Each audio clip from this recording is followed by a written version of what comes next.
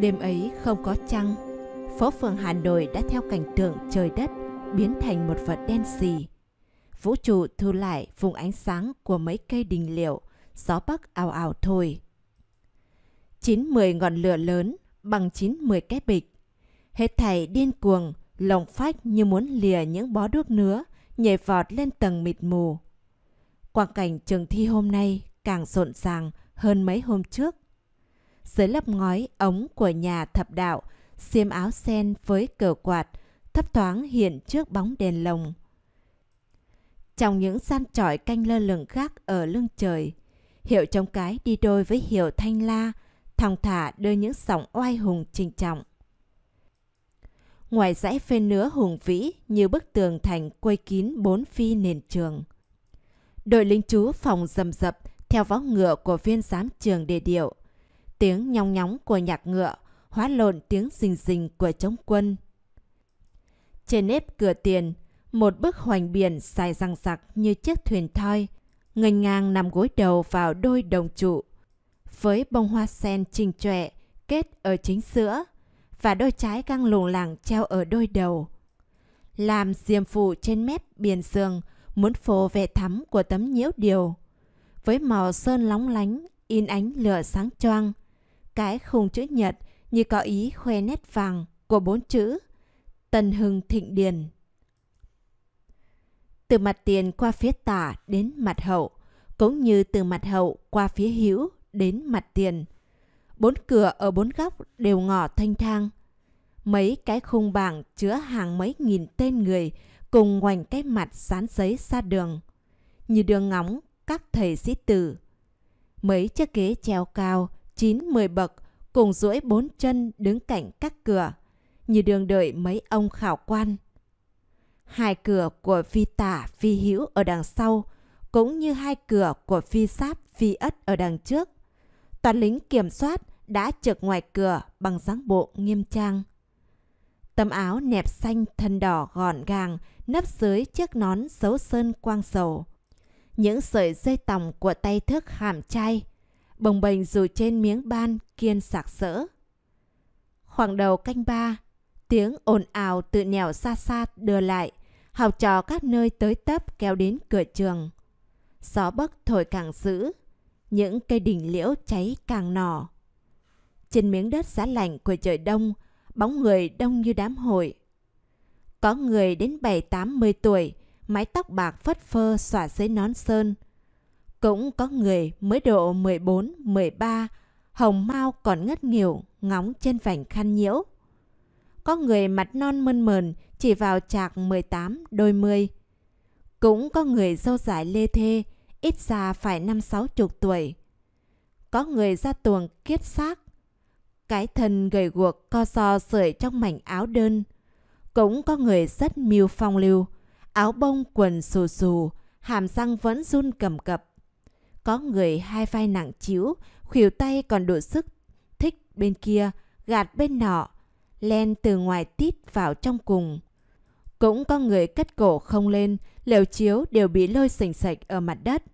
Vành cái mặt sương sương tự đắc, đó là người mới thi lần đầu. Dúng trên trán những nét âu lo, ấy là người lao đao trường ốc. Đủ các nhân vật, đủ các bộ dạng. Đêm càng khuya, học trò kéo ra càng nhiều. Ai vào phi nào, lật đật tìm đến cửa phi ấy. Dưới hàng vạn nón chóp lố nhố đứng ở bốn cửa. Hàng vạn con người trang thức cùng một lối như nhau. Sân này cái chóng tre và bộ gọng lều.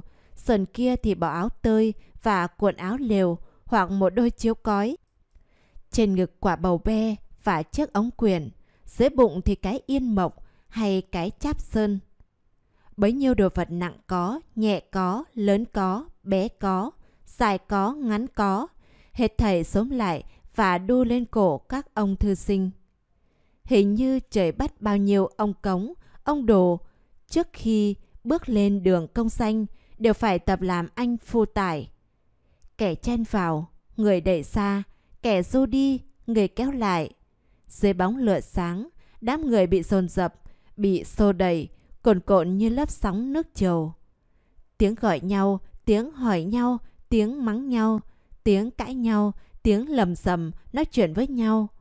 Các thứ tiếng ấy hợp lại thành một cái vọng âm âm, bốn khu cửa trường giống như bốn cái chợ lớn. Sang đầu canh tư, các cây đỉnh liễu đều cháy ra một nửa. Tàn ướt đỏ ối theo dọn ngó bấc, tàn mát bay khắp giữa trời. Rồi từ từ nó rơi xuống đám đầu người, xuống quãng đất không, xuống những nơi xa tít nếu nó không bị tắt ở bóng tối. Trong nhà thập đạo, chống khẩu sóng, kiềng đồng, nện đủ ba hồi chín tiếng. Cái bóng đèn đều bị lay động. Các ông quan trường cắt nhau, mỗi người xuống mỗi vi. Bốn ông ngự sử đem hết chức trách đàn hạc lên bốn trọi canh. Hai ông phân khảo tiến ra cửa hai vị tả hữu với cách quyền nửa nội nửa ngoại. Ông phó chủ khảo theo biển Phụng Trì đến cửa phi ất. Còn cửa phi sáp vẫn là phần ông tránh, chủ khảo trông nom. Hai hàng đèn lồng lấp ló soi hai bên đường. Một đội lọng vàng nghiêm chỉnh, rước lá cờ khâm sai, đi thẳng trước đường. Ông chủ trường thi và cái mũ cánh chuồn, cái hốt ngà phoi, cái đai kim tuyến, cái áo thủy ba, cái hìa sát con bướm vàng bằng bạc, khum núm núp dưới bốn chiếc lọng xanh chóp bạc, thong thả đi từ nhà thập đạo ra cởi trường.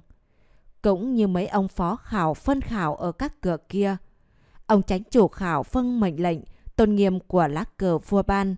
Khoan thai bước lên mặt ghế chéo và ngồi trình trệ Với một chồng quyền thi của học trò, lọng vàng, lọng xanh lại lần lượt làm theo phần sự.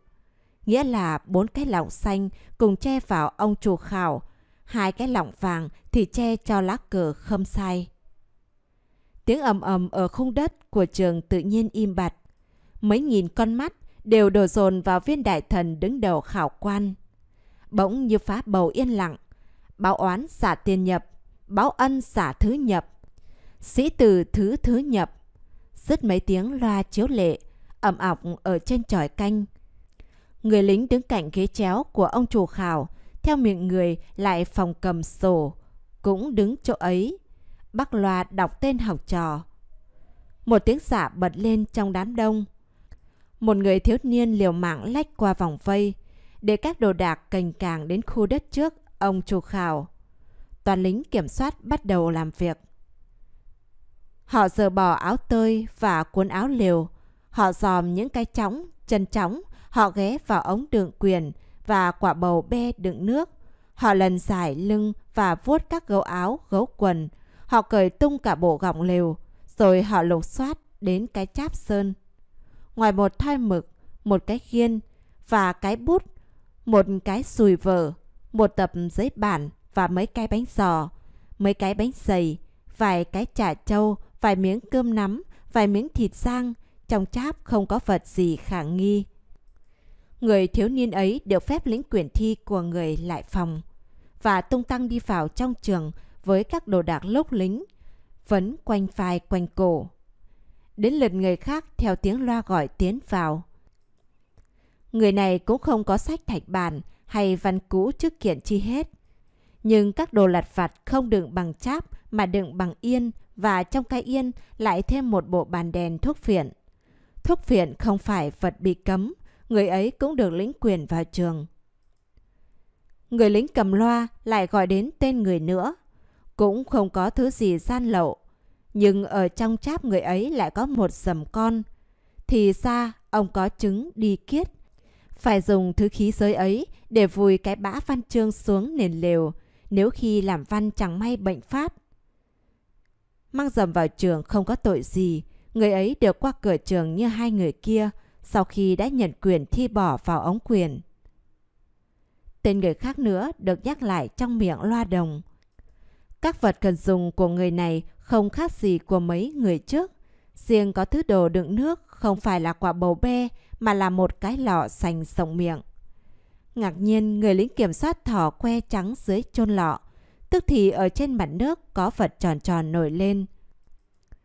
Càng lấy làm lạ, người lính kia vội vớt vật ấy ra, bừa ra xem. Té ra một mớ giấy bản viết chữ nhỏ hơn con kiến. Người ta đã vo tròn lại và chát một lớp sáp ong ở khắp chung quanh. Của phi Pháp liền bị tịch thu và cái tội mang sách vào trường, tức khắc đưa học trò san ngoan ra khỏi nơi thi cử. Người lại phòng, người lính cầm loa và bọn lính kiểm soát lại tiếp tục làm việc như thường. Chừng nửa canh năm, sương mù ở các cây đỉnh liệu đã lôi xuống gần mặt đất. Ánh sáng cũng biến ra sắc ố vàng. Đám người và đám liều chóng đã chuyển hết 3 phần tư vào trường. Khu đất ngoài trường chỉ còn lơ thơ vài trăm học trò. Tiếng ồn ào dần dần êm dịu. Mặt trời mọc, các cây đình liệu cũng vừa cháy hết. Vũ trụ đã khôi phục cảnh tượng xinh đẹp và mông mênh của ban ngày. Trong miếng đất sáp với cửa trường, một chàng trai trẻ thơ thần đợi sự, khám xét của bọn lính kiểm soát. Bộ mặt tuấn tú, cố trọi vẻ kiều diễm với ánh nắng buổi mai. Đôi mắt long lanh như muốn hút cả Sơn Hà thành quách. Quần áo đồ đạc chàng ấy không có thứ gì phạm cấm. Chỉ duy cái ngực sao lại nở nang mầy lớn hơn khác với ngực người thường. Lục hết cái món linh tinh, cố phiên bọn hành kiểm soát không quên soát cái chỗ mà họ đã nghi ngờ đó. Vừa thục tay vào, lần trong áo chàng ta, thì người lính ấy lập tức rút luôn tay ra. Sáng bộ dãy nảy giống như đụng phải nước nóng. Những người gần đó hào háo nhìn chàng tuổi trẻ bằng đôi mắt ngờ vực. Có kẻ bảo chàng ấy rất nhiều sách vở, giấy má trong mình. Có kẻ lại đổ trong mình chàng ta, hẳn có hung khí hoặc phù chú chi đó. Bẩm quan lớn, người này không phải đàn ông. Sau tiếng trình giật giọng của người lính kiểm soát, ông chủ khảo trọ trọe gắt gỏng. Sao mi hay bẩm quan lớn? Con thấy. Rồi ngập ngừng, người lính như không dám nói nốt. Mi thấy cái chi? Người lính lại ngập ngừng. Bẩm, con thấy... Sự thông minh của chủ khảo đã so sự ngập ngừng đó mà biết được cái người lính đã thấy. Ngó mặt người trẻ tuổi, ông ấy hỏi một cách nghiêm nghị. Có thật mi là đàn bà không? Đích thực đàn bà, người ấy không dám chối cãi. Lệnh nghiêm từ trên ghế chéo đưa xuống. Người đàn bà ấy phải bỏ chiếu lều chóng cháp ở cửa trường, theo luôn sợi thừng của lính kiểm soát để đi xa dinh tổng đốc. Trong đám đông, những ông sĩ tử còn đợi tiếng gọi xôn xao người nọ hỏi người kia. Cô à nào mà to gan thế? Quê quán chị ta ở đâu? Có ai biết không? Cô ta ở phường Khán Xuân chứ đâu? À, cái cô ái nam ấy ư? Phải, chính cô ái nam ấy đấy. Hoài của nhỉ? Người thế mà ái nam. Cô à học hành khá lắm phải không? Chẳng khá lại dám xả trai đi thi. Giỏi lắm đấy chứ, kém gì nàng văn tú tài. Các ông dám khen nó giỏi, tôi thì tôi cho là đồ. Nữ ngôn bất xuất, chữ sách để đâu? Một người con gái đã có đọc sách mà dám len lỏi vào thi với đám con trai thì còn biết sánh giá là cái gì nữa. Giàu hay, tám vạn ngậm tư, cũng là đồ bỏ. Chẳng những đồ bỏ mà thôi, lại còn cái tội khi quân nữa chứ. Giả làm con trai đi thi, đó là khi quân chứ gì. Rồi các ông xem, chị ta được giảo giam hậu là nhẹ. Nếu tội ấy vào người đàn ông thì phải chạm quyết. Cứ thế người ta cứ chĩa vào mặt người con gái mà cãi phá với nhau mãi như thế. Mặc cho những tiếng mỉa mai, những lời khen ngợi bay ngoài lỗ tai, Cô gái lạ đời cứ việc đi qua trước mặt mọi người bằng dáng bộ thản nhiên. Mặt trời lên cao, ánh nắng đã làm tan bớt giá rét. Khu đất ngoài đường dần dần vắng teo. Câu chuyện thi san của cô ả ái nam nửa theo các ông học trò vào trong vi sáp, nửa đi với bọn hàng qua hàng bánh ra các phố phường. Hoa hòe bắt đầu tàn dụng trước những hạt mưa lún phún của tiết lập đông. Cánh vàng theo ngọn gió may tả tơi tung khắp mái nhà và các đường phố. Làn mây u ám phủ kín bầu trời.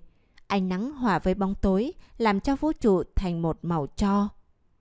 Hôm nay cũng như mọi hôm mới đây, phường Khát Xuân của thành phố Hà Nội đã được loáng thoáng trang điểm bằng những chậu kim quất đỏ ối, những khóm cúc màu như ngọc như vàng, những bộ quần áo tím xanh của các cô khuê các năm hậu tàn. Trong gian gác nhỏ hẹp nhô trên một dãy mái ở dải ven hồ Tây, Xuân Hương với bộ mặt tần ngần, thần thơ làm bạn với mấy chồng sách. Lồng chồng mấy ngọn bút ngả nghiêng, một tầm hoa tiên tơi bời trên án sách. Cảnh tượng bao la của mặt hồ và dấu vết điêu tàn của thành quách lâu đài thuở nọ thi nhau tiến vào cửa sổ, giúp thêm sự cô tịch cho gian gác trời đông. Những cánh hoa hòe tàn tác dưới hạt mưa bay cùng những lá sen khô sơ xác nhấp nhô trong ngấn nước, có ý nhắc lại cho nàng mấy vết đau đớn ẩn nấp đáy tim. Hồi này năm ngoái chính là hồi nàng phải bước chân vào sinh ông quyền trở về Hà Nội. Bây giờ những kẻ thè mồi trung đình, thầy đều khen ngợi cả. Chức bà bé của nhà ông lớn là chức cao sang. Nhưng trong ý nghĩ của nàng, thân phận tiểu tinh chỉ là kiếp con xem, con nụ. Giả sử nàng là con nhà Hàn Vi hoặc là một kẻ ngu dốt, người ta gả bán một cách sấp xúi như vậy, thì nàng cũng không lấy làm phàn nàn. Nhưng gia thế và tư cách của nàng đã đâu đến nỗi. Chẳng may trong lúc sang Sơn đổi chủ, sự tàn bại của vua Lê Chúa Trịnh đã lôi sụp sự thịnh vượng của nhà nàng. Trước kia, họ Hồ ở làng Quỳnh Đôi trong huyện Quỳnh Lưu vẫn là một họ châm anh thế phiệt. Tuy rằng cha nàng mất sớm, cải cảnh bồ côi bồ cút đã đẩy đoạn nàng từ thuở lên 10, nhưng nhờ sự dạy bảo của mẹ đẻ và nhờ nét thông minh của trời cho từ thuở lên 10, nàng nghiễm nhiên là một cô học trò biết làm câu đối, bài đoan. Dầu rằng sự học của nàng vẫn bị những ông tôn trường coi làm đồ để viết thư cho con trai. Không ai thiết săn sóc, xèn cặp, nhưng nó với nàng cũng như hạt giống tốt với miếng đất phỉ nhiêu. Không cần sự vun tưới của người ngoài, trong năm 6 năm vẫn có thể thành một chồi cây rầm già, nở những bông hoa tươi thắm. Người ta đã phục nàng là bậc tài nữ, không kém nàng ban ả tạ khi thấy văn nàng có vẻ tài hoa. Người ta lại rủa nàng sẽ là ca kỹ tiết đào. Khi nghe thơ ca của nàng có giọng lẳng lơ chua chát. Cũng vì sợ nàng hóa như tác giả của hai câu Cành chim lá xó thì có nhục cho Gia Phong. Chú nàng mới bắt nàng thôi việc bút nghiên, tập nghề cày cấy lại vì ghét cái giọng ớm ở ờ trong bài tức cảnh, tắt nước gầu sòng. Nhà đạo đức ấy trước khi lâm chung, còn cố ghép cho xong mối sân lên giữa nàng với ông quyền trưởng vệ Hà Nội. Những như cái tướng sậm sâu sâu mắt và cái tính cọc cằn lỗ máng của Đức Lang Quân cũng đã khổ cho kẻ làm vợ, huống chi ở ngồi ăn cảnh nằm kề. Còn phải tập những sự luồn cúi, nếm những mùi cay chua thì một người tài tình như nàng chịu đựng làm sao cho nổi. Phúc Đức thay, lòng hiếu sắc và oai đại tướng của viên quan võ nhị phẩm định không lại máu ghen của mộ sư tử Hà Đông. Qua 6 tháng đọa đầy, nàng được thoát khỏi nhà chồng bằng tội ái nam của viên trưởng vệ đã ghép cho nàng để tránh tiếng sợ vợ. Mẹ mất, chú đã chết, anh em họ mạc đều ở trong vùng Nghệ An. Nhà cửa ở phường Khán Xuân quê hương sinh đẻ của nàng lại về tay nàng làm chủ. Lúc này không còn sợ ai ngăn cản, đè ép, nàng đã có quyền làm việc theo như chí ý của mình. Cũng sôi kinh nấu sử, cũng 10 năm đèn sách, chứ kém gì ai. Ta phải giật lấy miếng ông đồ ông cống, cho thiên hạ biết tay, để họ khỏi khinh đàn bà con gái. Bởi nghĩ thế nàng mới ăn mặc giả trai, đổi họ đổi tên, nộp quyền xin vào trường thi. Chẳng ngờ trời chẳng chiều lòng, việc bí mật lại bị cái vú xảy thì tố giác với lính kiểm soát, khiến nàng bị bắt luôn ở cửa trường. Tuy nàng chỉ bị giam hai ngày, nhưng nghĩ đến nguồn cơn lúc nào, nàng vẫn tức bực lúc ấy. Ô hay, Thánh Hiền vua chúa thù gì đàn bà con gái mà lại không cho người ta đi thi. Nếu không gặp được ông Tổng đốc bà nội là bạn cha ta và những ông ngự sử, chủ khảo một học trò của ông ta, thì cái tội cải trang ứng thí có lẽ phải đến xử tử. Cứ tình thế này, đàn bà con gái không còn kiếp nào mở mặt lên được. Đời đã chó má như vậy, thân thế của ta sau này sẽ đi ra con đường nào? Quanh quần nghĩ đi nghĩ lại, nàng vẫn chưa tìm được câu trả lời. Gió mây hiu hiu đưa vào cửa sổ. Trồng giấy hoa tiên xanh đỏ phất phơ bay ra khắp nhà. Uể oải nàng đứng dậy xếp nhặt từng mảnh để trên án sách. Mấy hàng chữ thảo bỗng múa may, rối rít ở trước mặt nàng. Kẻ đắp chăn bông, kẻ lạnh lùng, chém cha cái kiếp lấy chồng chung. Năm thì mề họa nên trăng chớ, một tháng đôi lần có cũng không. Cô đấm ăn xôi rồi lãi hỏng. Cầm bằng làm mướn, mướn không công. Thân này phí biết, giường nay nhỉ. Thả trước thôi đành ở vậy xong. Xem đi xem lại mấy lượt, nàng trợn cao đôi lông mày. Thật là ghét của nào trời trao của nấy. Phương Ngôn nói không sai. Mình chê người ta phải lấy chồng chung. Trời liền bắt mình phải làm vợ lẽ một lão vũ phu thô tục. Mình giễu người ta thả rằng ở vậy. Đến mình ra muốn ở vậy cũng không thể được. Cái gia pháp oái âm vẫn cố suối đẩy mình đi, không để cho mình ở yên. Mình cười người ta làm mướn không công. Nhưng mình đi ở năm sáu tháng dòng vẫn trở ra với hai bàn tay trắng. Khen cho con tạo khéo trêu người. Mần mê sợ đến tự khác, nặng như thích ý gật gù ngâm. Đừng cơn nắng cực, chữa mưa tè. Im lặng, nàng tự bè mình. Chữa mưa tè nghe vẫn chưa ổn. Vẫn tè khí ép. Và nắng cực tức là chữa mưa. Cần gì phải thêm hai chữ chữa mưa cho thừa. Giả sử trở lại làm tiết trời hè có lẽ êm hơn. Sẵn bút trong ống, nàng liền tầm mực, dập mấy chữ cũ, viết thêm vài chữ nho nhỏ ở cạnh, rồi nàng đọc lại. Đường cơn nắng cực, tiết trời hè, rồi chị em ra tắt nước khe, léo đéo chiếc gầu ba góc rụng, lênh đênh một ruộng bốn bờ be. Xì xòm đáy nước mình nghiêng ngửa, nhấp nhổm bên gành đít phát phe. Ham việc làm ăn quên cả nhọc, sảng hang một lúc đã đầy phè. Nàng bỗng mỉm cười. Nắng cực, sảng hang, kể cũng chất nhả thật đấy. Không trách ông chú phát cáo cũng phải. Giờ này thì già vẫn dùng những chữ gió, trăng, mây, móc, gấm phóc, ngọc vàng kia chứ. Ai dám đem những tiếng ấy vào thơ. Nhưng chất nhà thì chất nhà, nó vẫn không hề ra ngoài đầu đề. Và cũng không hề mất vẻ tự nhiên. Phải có nắng cực mới phải tắt nước. Đã tắt nước thì phải dạng hang. Tức cảnh tắt nước gầu sòng. Dùng mấy tiếng đó kể cũng sát lắm. Thế thì dù có chất nhà cũng không can chi. Sao lại có kẻ bẻ phành, bè vẻ? Chẳng qua mình là con gái, thì bà ấy bị ghép vào tội đĩ thỏa lẳng lơ. Giả sử mình là con trai mà nghĩ được những câu như thế, tất nhiên họ sẽ khen nước khen nở, híp mắt mà cười với nhau. Rồi còn người này truyền cho người kia là khác. Lạ thay, trong việc dùng chữ làm thơ con gái với con trai cũng còn tranh lệch khác nhau đến như vậy. Ừ thì ta cũng nhận rằng con gái không được phóng túng như con trai. Ta lại nhận ra rằng bài thơ kia là thơ lẳng lơ đi thỏa đi nữa. Nhưng mấy câu thơ đi thỏa lẳng lơ chưa phải là tội chữa hoang làm đĩ. Cớ sao ông chú lại nỡ lấy nó làm án để đẩy ta vào chỗ nọc rắn miệng hùm. Té ra người ta chỉ biết quý cái xa phong, không coi một đời tài sắc của ta vào đâu. Nếu không được mụ trưởng vệ có tính ghen tuông thì thân ta phỏng còn gì nữa. Thằng gác có tiếng thình thịch.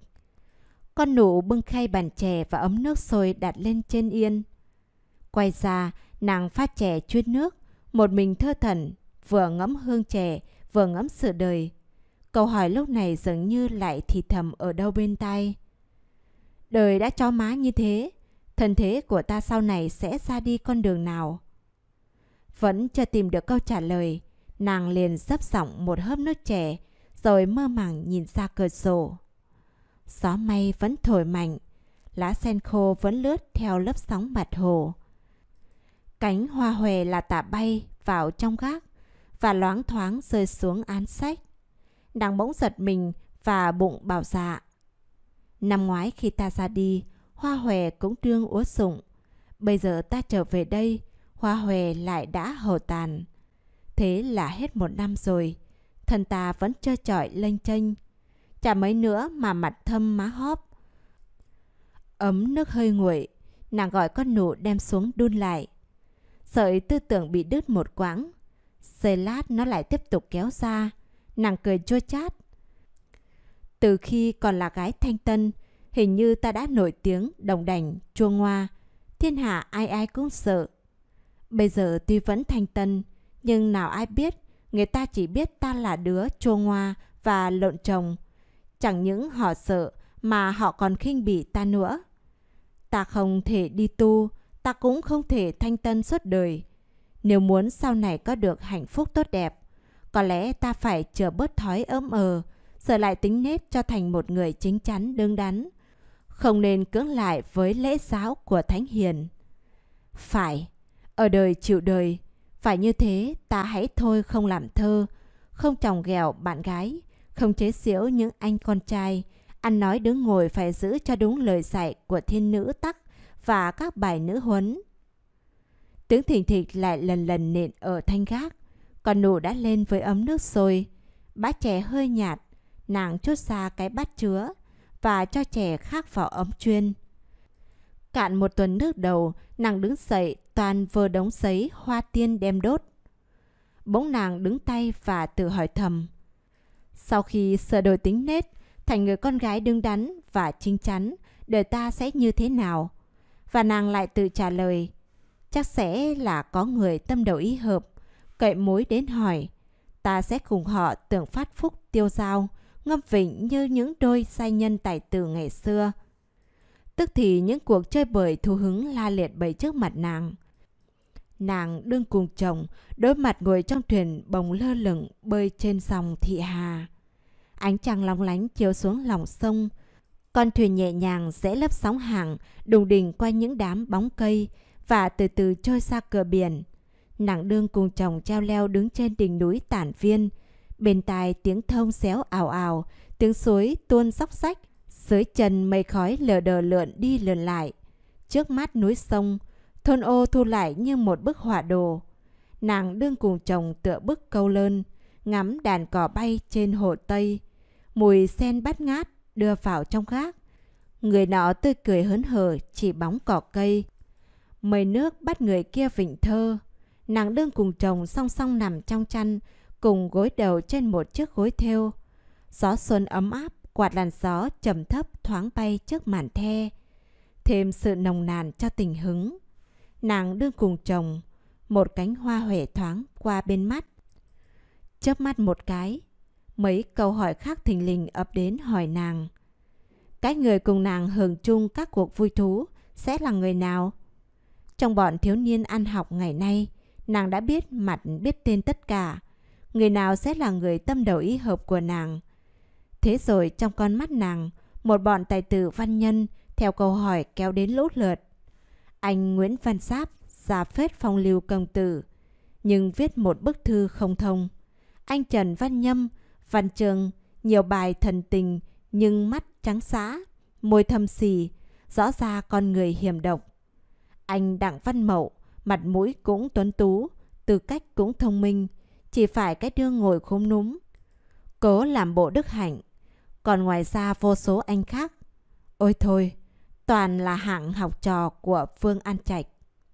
Mặt bẩn không sửa, áo bẩn không giặt, lại hơn cái mùi hôi như cú, cháy giận như sung, học già dã như quốc kêu, mà văn vẩn nặng như đá đeo.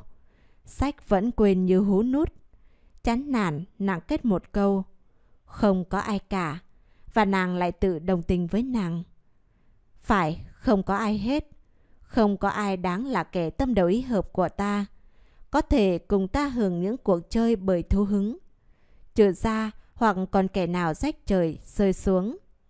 Chứ trong hiện nay chỉ có một hạng anh Nguyễn Văn Giáp, anh Trần Văn Nhâm, anh Đặng Văn Mậu và vô số anh học trò của Vương An Thạch ấy thôi.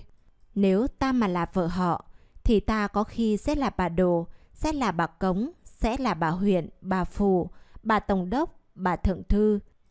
Ta sẽ suốt ngày chỉ ngồi tem chầu. Ta Ta sẽ suốt bữa chỉ ngồi gắp từng miếng đồ ăn vặt vào bát họ. Ta sẽ suốt năm chỉ nheo nhéo sủa thằng quýt và trừ con sen, con nhài. Có thể như thế được chăng? Không thể được. Ta không thể bắt trước nàng mạnh quang.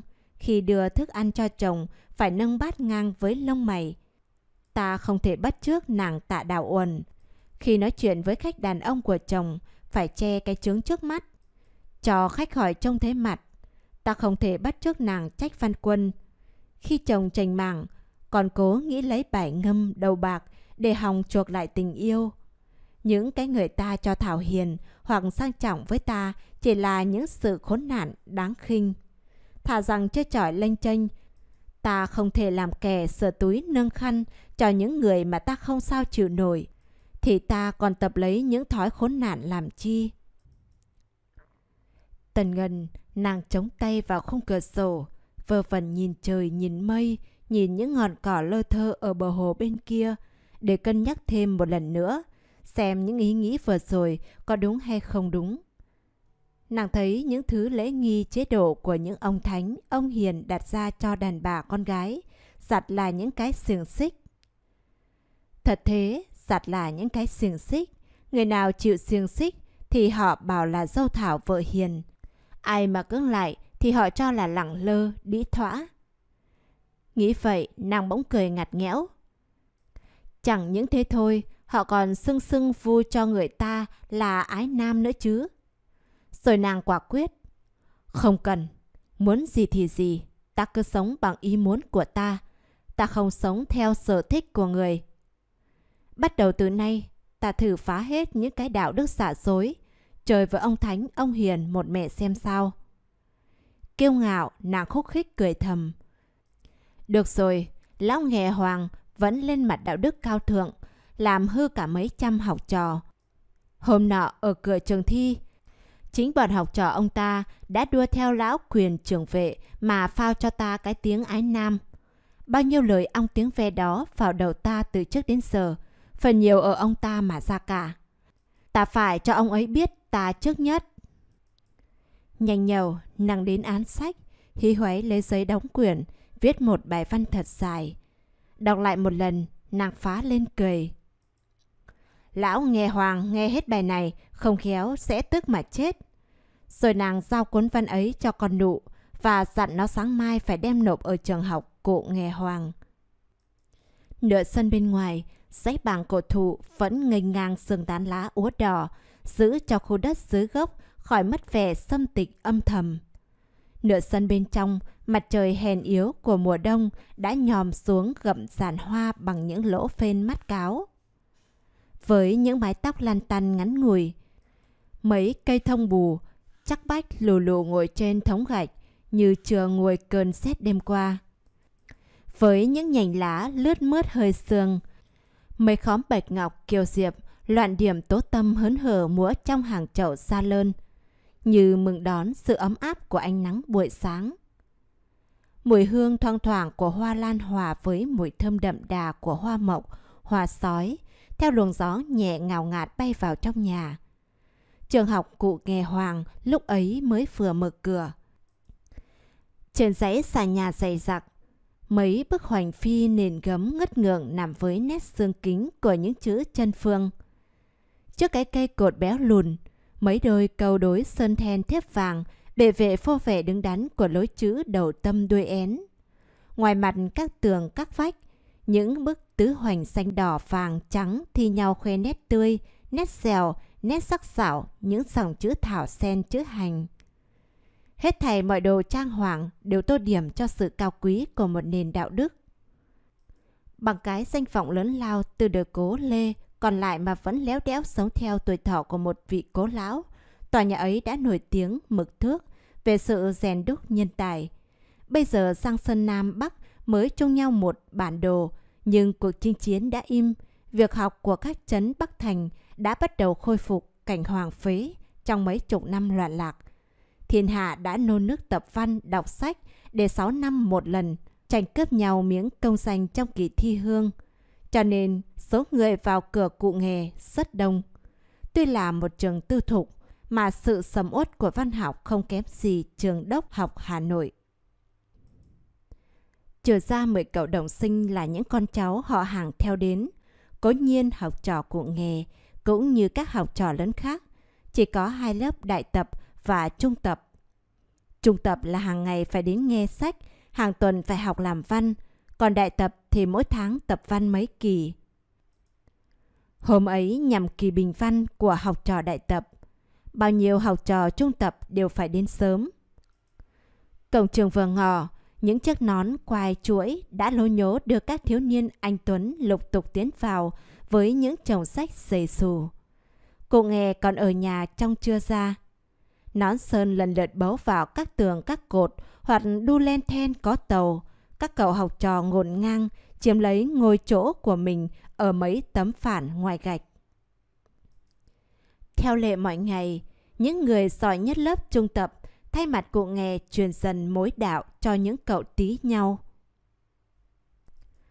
Ứa nẹo với cuốn sách nát nhầu cắp ở dưới nách, một lũ đồng sinh tóc tròm kế tiếp nhau tựa vào cột hiên, ngắc ngứ nhắc lại những câu đã học hôm trước. Mấy cậu không thuộc, thèn lẹn tìm trồi quét khắp nhà trong nhà ngoài. Những cậu đọc trơn, tung tăng chạy đi mài son mài mực. Cậu nào chưa có chữ học, đưa sách cái nhờ người viết cho. Cậu nào bài học đủ rồi, mở sách học chồng bên bực cửa, đợi chấm. Nhà trường bắt đầu om sòm. Những chữ chi, hồ, xã, xả trong mấy cuốn sơ học vấn tâm. Ấu học ngũ ngôn thiên, nhất tề bị nhai đi nhai lại. Những tên ông thánh, ông hiền, ông vua, ông quan trong các sách Dương Tiết, Tam Hoàng, Hạ Thương Chu, Hán Cao Tổ, đồng thời bị xéo sóc hàng mấy chục lần. Nghĩa chữ dần dần bị nuốt, tiếng học dần dần thấy thưa. Quỳ đầu gối xuống gạch thềm, các cậu bé con tranh nhau đặt sách học vào trước mặt mấy cậu hơn tuổi và lễ phép hỏi. Thưa anh, xin kể. Chữ nào nghĩa ấy, mỗi cậu bé con kể hết từng chữ trong bài học. Thì mỗi cậu lớn tuổi lại ngân giọng sướng luôn từng câu cho chúng học theo. Hết lật kể nghĩa, các cậu tí nhau như trả xong món nợ một ngày hôm ấy. Ai nấy sung sướng ra các gốc bằng, rồi nhau đánh khăn, đánh đáo để chờ lấy sách viết tô. Lớp học của bọn đồng sinh đã tan, mặt trời vừa lên khỏi ngọn cây bàng. Chống cái hùng dũng điểm một hồi ba tiếng. Cả lũ học trò trung tập giam giáp đứng dậy với một giây lạy thầy. Chiếc điều ống, cái cháp trơn và cái sọ ấm tích trịnh trọng sức cụ nghề áo mũ chỉnh đốn ở nhà trong. Bề vệ ngồi vào giữa bộ ghế ngựa quang dầu kê sau chiếc án thư sàn mạt. Cụ nghề thông thả mở cháp lấy ra một cái cối nhà, một cái chày đồng và mấy miếng chầu không cao tươi. Nhanh nhậu và cung kính, một cậu học trò tiến lên, cúi đầu đón các đồ vật đem sang phản cạnh, hì hục nghiền rồi lễ phép đệ vào. Món mém nhai tàn miếng trầu, cụ nghề khoan thai về mồi thuốc lào đặt vào nõ điếu. Nhanh nhậu và cung kính, một cậu học trò khác tiến đến, cúi đầu bưng bộ đồ đánh lửa trên án thư xa phản thềm. Chàn chát đập hòn đá lửa vào một thanh sắt cho lửa bật ra và bén xuống lớp trò giấy có trộn lưu hoàng, xiêm tiêu đựng trong hộp gỗ. Cậu ấy xe sẽ nhón những mảnh than có lửa tiếp vào mùi giấy, phì phò thổi cho bùng ngọn, châm vào sợi dây ruột gà, rồi lễ phép đưa lên. Ngậm hớp nước chè trong miệng, cô nghe viết xe điếu hút sòng sọc một hơi. Nước ngậm đã bị nhổ vào ống nhổ, khói thuốc đã bị thở lên mái nhà. Cô nghe ra hiệu cho các cậu học trò đọc sách. Nhanh nhầu và cung kính, một cậu học trò nữa nhẹ nhàng ôm chồng sách in cúi đầu đặt lên án thư. Sau một câu xin phép rất lễ độ, một cậu học trò tốt giọng đằng hắng mấy tiếng rồi mở sách ra đọc. Theo lệ hàng ngày, bao giờ cũng đọc đủ ba thứ sách. Kinh, truyện và sử. Hôm nay trước nhất thì đọc kinh dịch, rồi đến sách Trung Dung, rồi đến cuốn Tống Thiết Tông. Mỗi khi người đọc sách đọc hết vài cái bản trong một chương, cả trường đều im phăng phắc, hơn trăm con mắt chăm chú ngó vào sách của mình, hơn trăm lỗ tai yên lặng đợi lời giảng của thầy. Bằng cái giọng sang sảng như tiếng chuông đồng, cô giảng rành mạch từ nghĩa đen đến nghĩa bóng, từ nghĩa gần đến nghĩa xa. Cô chỉ rõ ràng những lời bàn nào là phải, những lời bàn nào là quấy. Cô nói như rót vào tai học trò. Đọc rồi giảng, giảng rồi đọc. Sau 4 năm lượt, giã trầu, đánh lửa, thi kinh, chuyện, sử, mỗi thứ cũng bị nhắc lại hết vài chục từ. Công việc nghe sách sắp đoạn, cao hứng, cụ vuốt sâu hỏi. Các anh có biết thể văn lục bát nguồn gốc ở đâu không? Gần trăm bộ mặt hết thảy tỏ vẻ ngơ ngác. Người ta phải đáp lời thầy bằng sự lặng im. Cô cười khanh khách và mắng học trò một cách vui vẻ. Các anh không có ý tứ chút nào. Giờ lại bài đọc hôm nay mà xem. Nguồn gốc thể văn lục bát ở ngay những chỗ các anh vừa mới nghe đó. Gần trăm cuốn sách đều bị lật đi lật lại lung tung. Không ai tìm thấy chi hết. Người ta lại đáp lời thầy bằng sự im lặng. Vẫn bằng giọng vui vẻ, cộ giảng. Kinh, chuyện, sử, mỗi pho đều là một câu lục bát. Lục tam hàm trương khả trinh hoặc tòng vướng sự vô thành hữu trung, Đó là câu ở kinh dịch. Phù thủy, nhất thước chi đa, cập kỳ bất chắc, ngoan đà sao long. Đó là câu ở sách Trung Dung. Còn ở sử thì là câu gì? Các anh nghĩ ra chưa? Kẻ trong mày lục soát trí nhớ, người còn để mắt từng tỏi trong cuốn sách vừa đọc cuối cùng, chưa ai kịp trả lời ra sao. Cụ đã nói tiếp. Đô dĩ sái xác hữu công, sử chi tòng tựa triệt tông miếu đình. Có phải câu trên sáu chữ, câu dưới 8 chữ, dành dành theo phần với nhau đấy không?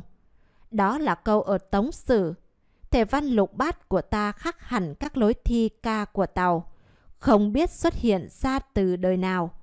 Nhưng nguồn gốc của nó quyết phải ở mấy câu ấy.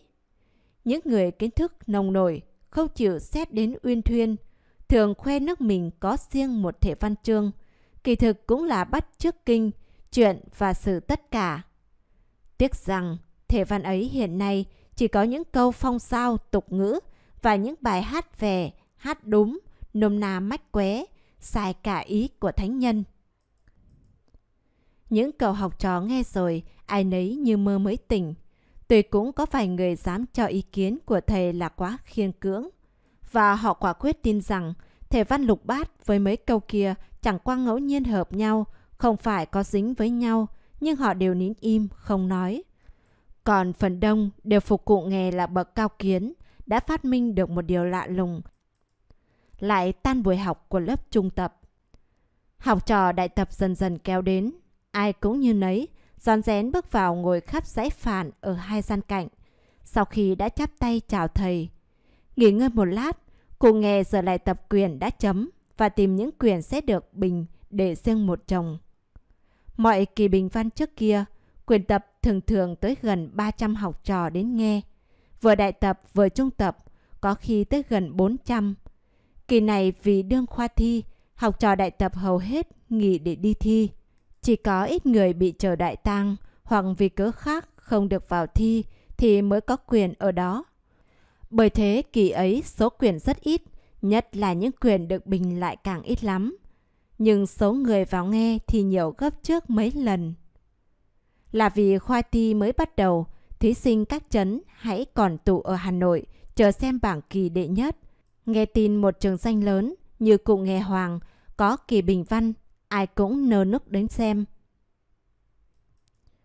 trường khoảng nửa buổi, người ta kéo vào càng đông. Các phản trong nhà, ngoài thềm đã bị ngồi hết. Nhiều người phải rúm rụm đứng với nhau ở dưới sàn hoa. Hơi người đã chính phục khí hậu giá rét và bắt nó phải ấm nóng.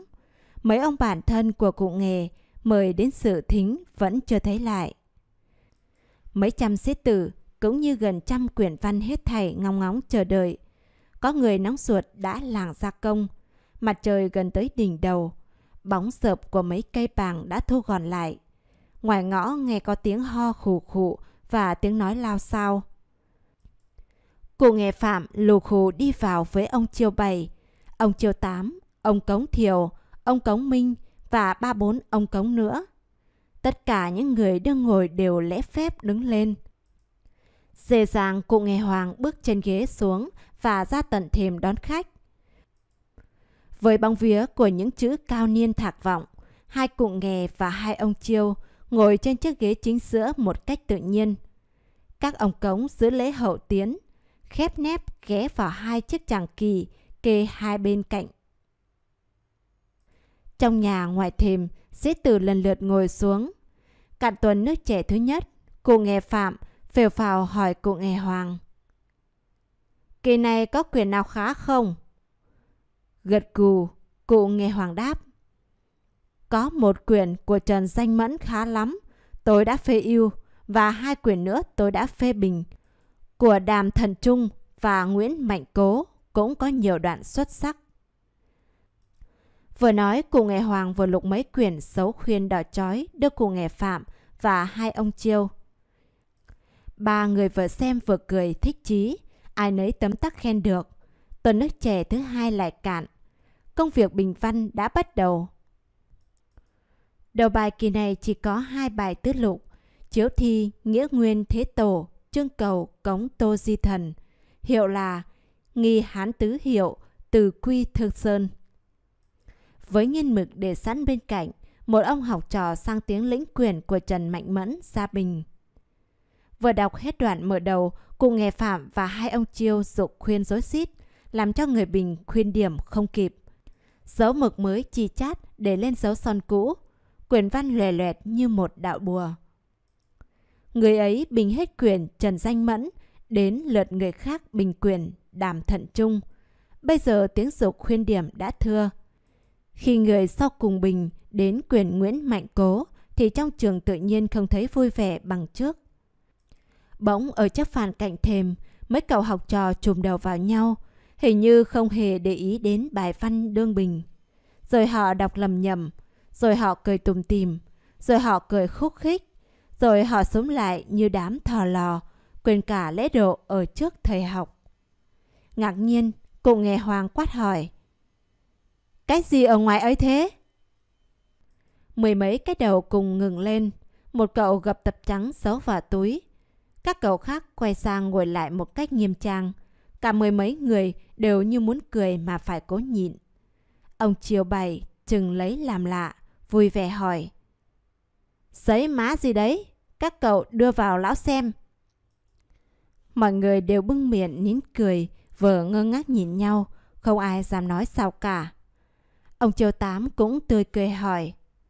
Chắc là văn thơ của ai chế giễu bọn lão chứ gì? Được, các cậu cứ đem vào đây. Vẫn không người nào chịu đưa. Phát cáo cụ nghề phạm bảo ông Cống Thiều ra lấy. Cực chẳng đã, cậu nọ phải móc túi giấy, bỏ tập giấy ra, vẻ sợ sệt hiện đầy trên mặt. Ông Cống Thiều vừa đi vừa xem, vừa cười tùm tìm, rồi lễ phép trao lại cho ông Triều Bảy. Ông Triều Bảy cũng không thể nhịn cười mỗi khi xem hết một câu. Cuộc bình văn đã xong, bao nhiêu học trò đều ngồi nán lại, chờ coi tập giấy kia là bài gì. Ông Triều tám nhầm, ông Triều Bảy. Có phải họ chế chúng mình đấy không? Ông Triều Bảy lắc đầu. Không phải bài ca tự tình của Hồ Xuân Hương. Cô nghe Hoàng nghe đến ba chữ Hồ Xuân Hương như bẩn cả lỗ tai. Chầu hai lông mày cụ gắt. Các ngài xem chi văn chương của con gái xóm mấy. Xin cho trẻ nó đốt đi. Ông triệu bày ấm ờ. Nó xóm những văn nó hay. Sao lại đốt? Tôi muốn xin phép các quan bình cho học trò nghe. Cùng nghệ hoàng cho là ông này cố ý treo mình, im bặt không nói gì nữa. cô nghệ phạm vội rằng tập giấy ở tay ông Triều Bảy. Đưa lão xem, thế nào mà ông bảo là văn hay? Vừa coi hết vài dòng đầu, cô nghề phạm quăng tọt xuống án và gọi đồng sinh đem đốt ngay đi. Ông Triều Bảy lại cầm luôn lấy. Vâng, đốt thì đốt, nhưng xin hai cụ hãy cho chúng tôi bình chơi cái đã. Cô nghe Hoàng sầm mặt. Ở đây chi một quan chiêm không phải chỗ nói khôi hài. Ông Triều Bày vẫn hờ hợt. Bẩm không phải khôi hài, tôi muốn theo ý của Kim Thánh Thán đấy ạ. Chẳng hai cụ cũng còn nhớ cả. Trong bài tựa quyền Tây sơn Ký, Kim Thánh Thán có nói thế này. Người ta bảo Tây sơn Ký là sách xâm, chỉ vì trong sách có việc ấy. Nhưng thử nghĩ xem, trời đất vũ trụ ngày nào không có việc ấy, chỗ nào không có việc ấy. Có lẽ bảo trời đất có việc ấy thì bỏ trời đất, vũ trụ có việc ấy thì bỏ vũ trụ hay sao? Sao sách ấy có việc ấy lại muốn bỏ nó? Hai cụ nghĩ sao? Tôi cho Thánh Thán nói vậy là phải. Vậy xin phép hai cụ cứ cho chúng tôi bình thử. Ông Triều Tám cũng cười. Thì ông ấy đã muốn như thế, hai cụ cứ thì cho phép cái nào. Ông Cống Thiều ra bộ sốt sắng. Xin phép các cụ để cho tôi bình. Rồi ông ấy nhanh nhậu đứng dậy đón tập giấy của ông Triều Bảy. Cụ nghề Phạm cũng như cụ nghề Hoàng lặng lẽ ngồi với mặt thâm mày xám. Ông Cống Thiều vừa cầm tập giấy vừa cười sang sặc. Học trò trong nhà ngoài thềm, hết thầy ngơ ngẩn chờ nghe. Lâu lâu tan cơn buồn cười, ông Cống Thiều dõng dạc cất giọng. Tự tình rằng, khi canh cửi lúc ngồi thong thả, ngẫm sự đời buồn bã gớm ghê, âm dương lấy đấy mà suy, côn trùng cũng có huống chi loài người. Gớm sát tai những lời trò chuyện, khéo đặt điều nói đến những câu. Cả nhà im lặng như thường, mấy ông học trò ngồi ngoài lầm sầm bảo nhau. Như vậy tưởng không có gì là rõ. Hai cụ nghề vẫn mặn lăng mày phực, ông Triều Bảy vẫn trúng chím cười thầm. Ông Cống Thiều nghỉ trong giây lát lại tiếp. Thơ rằng Chém cha cái số má hồng châu, nghĩ đến càng thêm lắm nỗi sầu, giật cười quăng đi còn có lẽ, xeo thoi ném lại chuyện không đâu. Ông Triều Tám nói xen. Mấy câu ấy chắc ả muốn than về chuyện trồng giấy. Được, văn cũng hoạt. Ông Cống Thiều vẫn đọc. Gớm thay gan người, dạ thế sâu khôn xiết. Phao lên rằng, tít tịt có chi. Tai thấp thoáng bụng hồ nghi, rành rành chẳng biết cái gì mọc đây. Hai ông chiêu đều cười ngặt nghẽo. Cô nghệ Hoàng xô tay bảo ông Cống Thiều. Thôi, đừng đọc nữa. Nhưng ông Cống Thiều cứ đọc. Cơn vắng vẻ, mặt dày ngắm lại. Lúc buồn tình tay gãi đã quen, rành rành mút mít đôi bên, lùm lùm chai úp là miền hạ thôn. Ông Triều Tám vẫn tùm tìm. Tục quá, không trách các cụ bảo đem đốt đi cũng phải, văn chương gì mà tục đến thế. Ông Triều Bảy vội bênh bằng giọng cười cợt. Cố nhiên nó tục, nhưng ông nên biết cho người ta rằng đó là một bài tự tình có để giải tỏ cái oan án nam. Không phải là kinh, là chuyện hay là một thiên gia huấn. Và chăng mấy câu này tùy tục nhưng chỉ tục chớ lời không tục cũng còn có thể tha thứ. Hai cụ nghề cắm mặt ngồi im, ông Châu Tám chỉ cười không đáp. Ông Châu Bảy nói tiếp. Người đời, trừ ra bực thần tiên, ai mà không tục. Tôi rất phục câu nói của ông Trương Sưởng. Trong trốn khuê phòng, tình nựng vợ chồng, còn có việc tệ hơn là vẽ lông mày. Bị vua hỏi đến tội vẽ lông mày cho vợ, mà ông ta dám nói như thế. Kể cũng thật thà và can đảm lắm. Tôi không hiểu tại sao nhiều người vẫn luôn làm những việc tục mà đến văn chương lại ghét ý tục. Thánh Hiền có dạy thế đâu. Cô nghe Hoàng vùng vằng đứng dậy đi vào nhà trong. Ông Cống Thiểu cao giọng ngâm nga. Cỏ rêu mọc xanh om cửa tía, lá cờ bay đỏ kẽ song đào, môi dày miệng rộng chán cao. Đúng trong tướng Pháp ảnh hào nghi dung. Nhà trong nhà ngoài tiếng cười rầm rì, tưởng như xô cả mái nhà gói. Ông châu Bảy vỗ tay, bảo ông châu Tám. Đoạn này chắc sỏ lão quyền trưởng vệ, môi dày miệng rộng chán cao. Thật là mặt ông quyền trưởng vệ, không sai một chút. Ừ, một người tài tình như thế, vô cớ bị ông kia hỏi lấy một cách ép uổng, rồi lại vu cho cái tiếng ái nam, để mà đuổi đi. Như vậy nó tức là phải, sỏ là phải. Rồi ông chiêu bày sục ông Cống Thiều. Ông cho nghe tiếp đoạn dưới. Nhưng ông Cống Thiều vì cười nhiều quá, phát nấc, không đọc được nữa. Nhưng ông Cống Minh cầm quyền đọc thay. Ấy, rõ thật là... Mới được bốn chữ, ông này đã cười sằng sặc. Không thể đọc tiếp. Một lát, cơn cười hơi tan, ông ấy bưng miệng đọc nốt. Vông dày dây, bằng lương nhân trông thấy cũng ghê. Há như lá. Cơn cười sằng sặc lại nổi lên, ông Cống Minh lại phải nghỉ đọc. Lâu lâu ông ấy lại bưng miệng đọc theo. Chóc lá tre, mà cười mà ngắm mà kề mà không. Ông Triều Tám lắc đầu. Đều quá, nó xỏ lóc quyền trường vệ đau quá. Ông Cống Minh ngân giọng. Của trời cho, sinh sòn là thế. Người ta còn ẻo ẻo rằng không. Nín thì tức, nói thẹn thùng, phải đồ oán trợ mà hỏng phô trương, mà giải thể như phường tơ kén, vén màn quần bầy biện đồ xa. Để cho những khách gần xa thử xem cho biết rằng là có không. Ông chiều bày vỗ đùi. Nghe đoạn này toàn là giọng oán tức. Ừ, bỗng không lại bị đeo tiếng ái nam. Ai mà nhịn được. Mình gặp nước ấy, mình còn nói tục bằng mười. Cùng nghề phạm hàm hàm đứng lên vào nốt nhà trong. Ông Cống Minh càng ngân dài giọng. Nhưng mà lại vào dòng quý tướng. Bộ dâu sồm quai nóng phất phơ. Hai ông Triều lại cười như nắc nẻ. Nó vẽ ra mặt ông quyền chồng vệ. Ông ấy nghe thấy bài này, không khéo sẽ tức mà chết. Ông Cống Minh vẫn liên tiếp không ngừng. Màn quần che kín sớm trưa, tuyết sương chẳng quản, nắng mưa chẳng từng.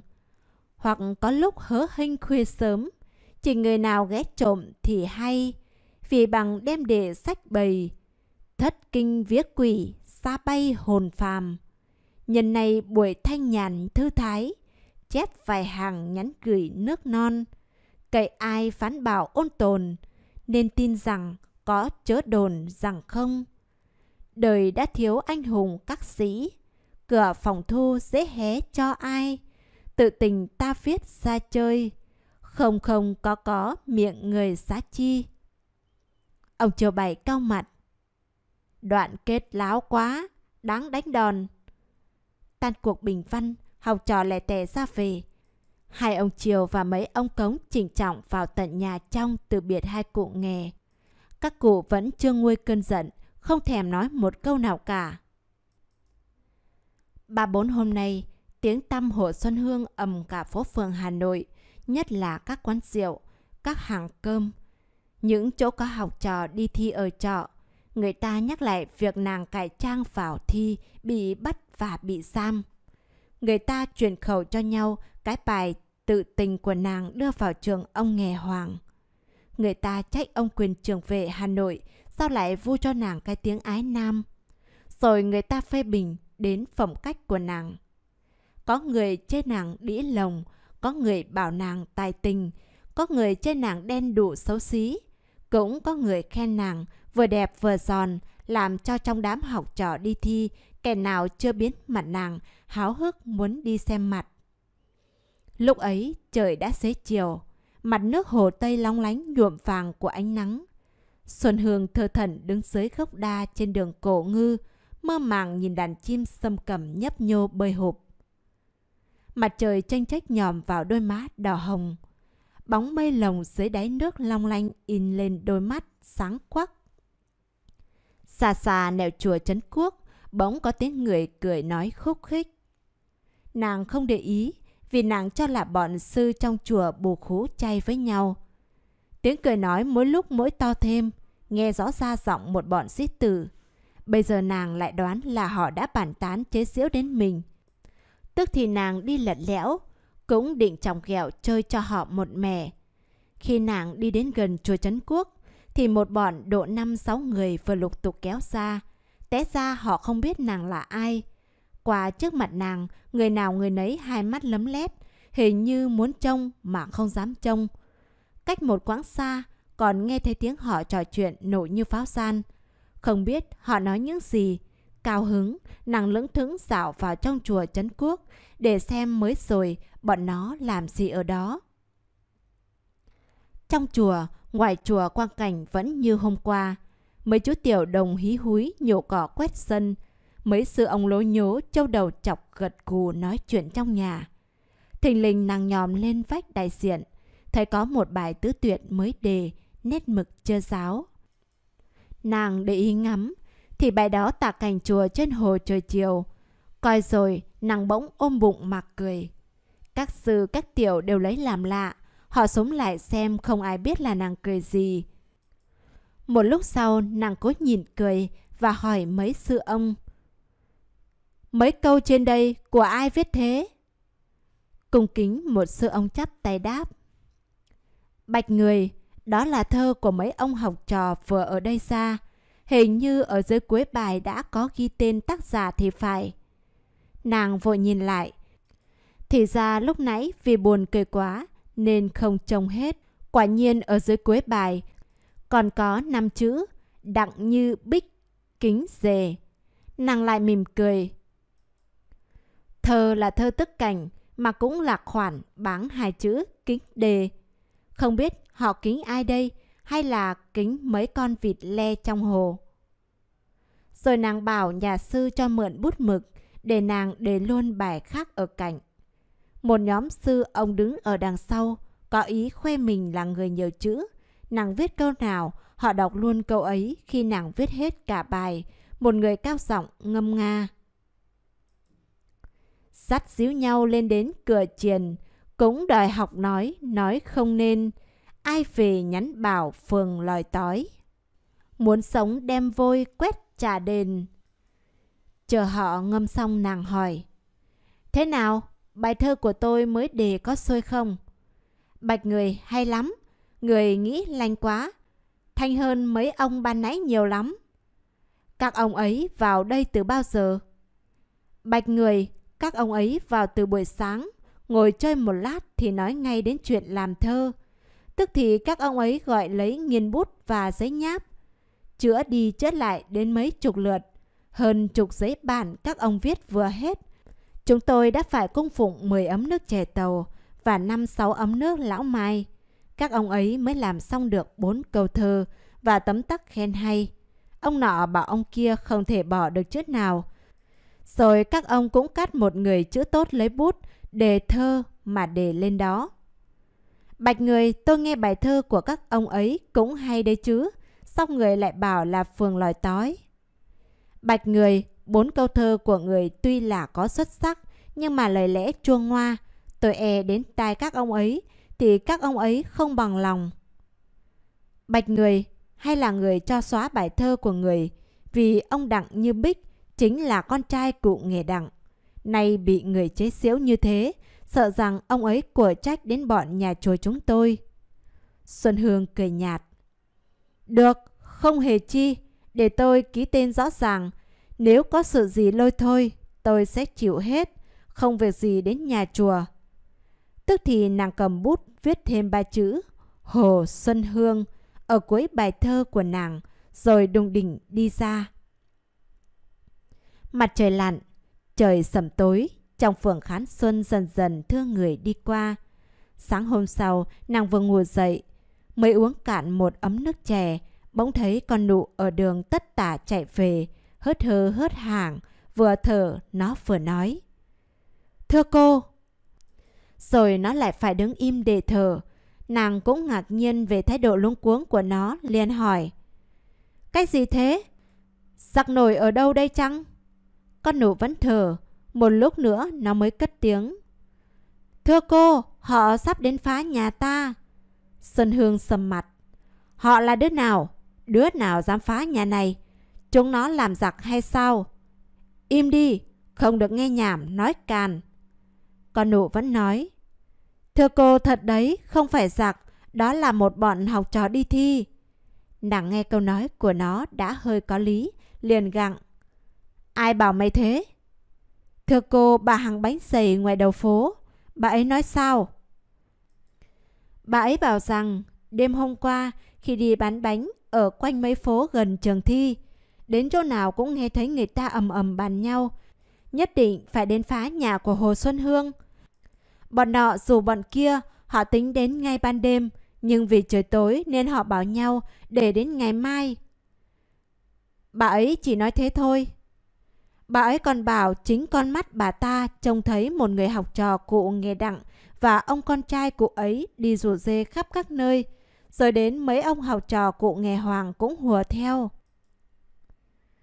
Chúng nó nói leo, ta không biết họ cái gì ta, nhưng dù cái gì mặc lòng, qua một đêm hôm qua, chắc là cơn tức của họ nguôi rồi.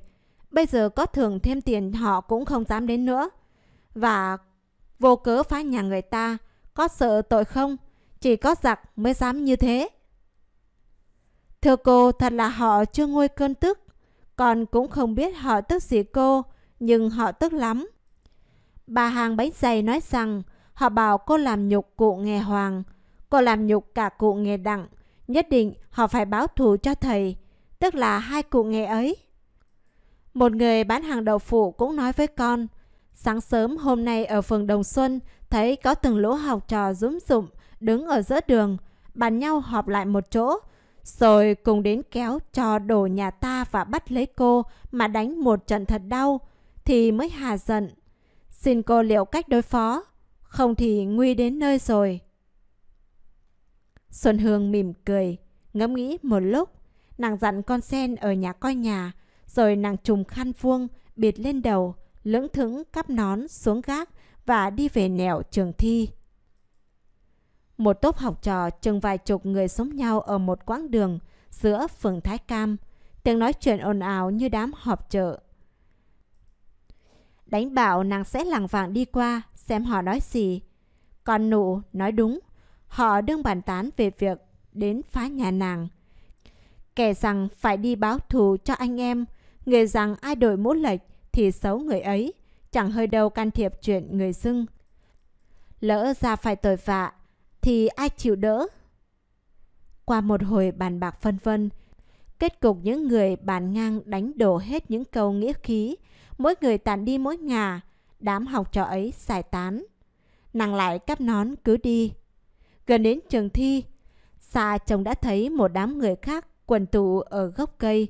Bọn này nghe chừng hăng hơn và cũng đông hơn bọn kia. Nàng đứng cách một quãng khá dài, đã nghe rõ tiếng họ nói.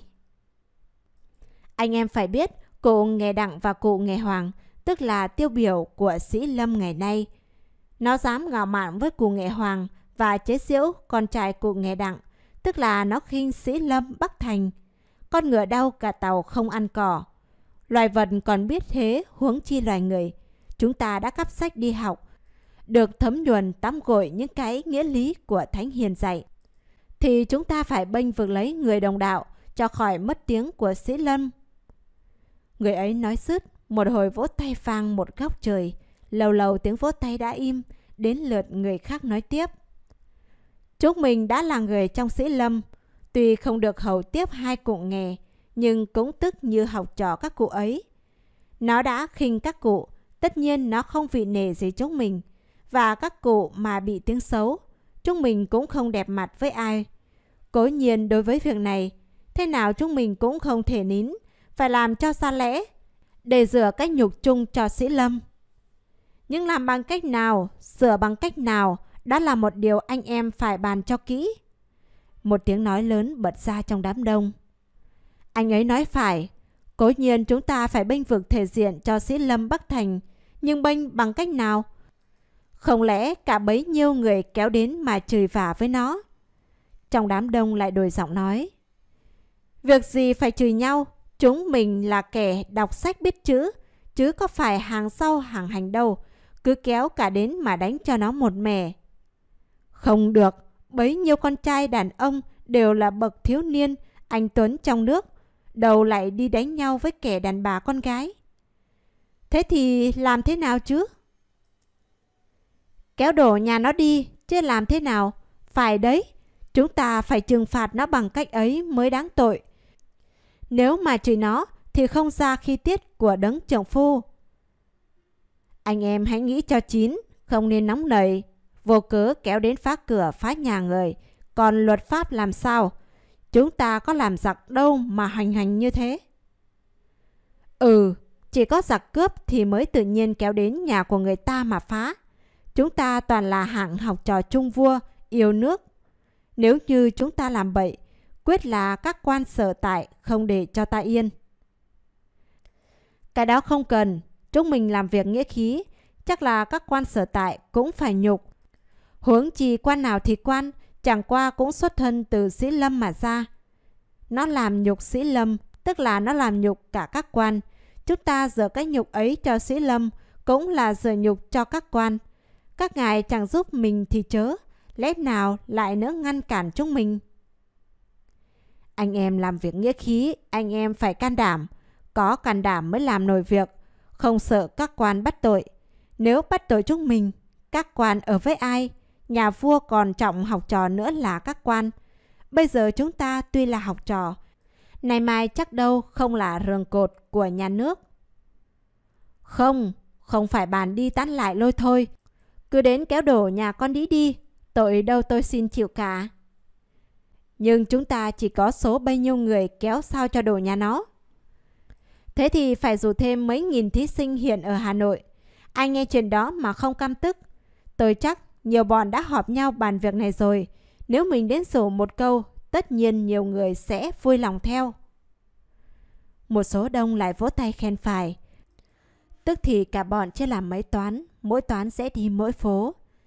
Biết qua tình thế như vậy, Xuân Hương không muốn đi theo họ nữa, lật đật nàng lượn qua chùa quán sứ để trở về phường Khán Xuân. Trong chùa cũng nghe thấy tiếng học trò ầm ầm, đại đề họ cũng nói như các bọn kia. Vừa đi Xuân Hương vừa nghĩ, không ngờ Sĩ Phong ngày nay trẻ con đến thế, chỉ có một việc còn con như thế mà họ cố làm cho to chuyện. Không biết những khi nước mất nhà tan, họ có hăng hái được như vậy hay không?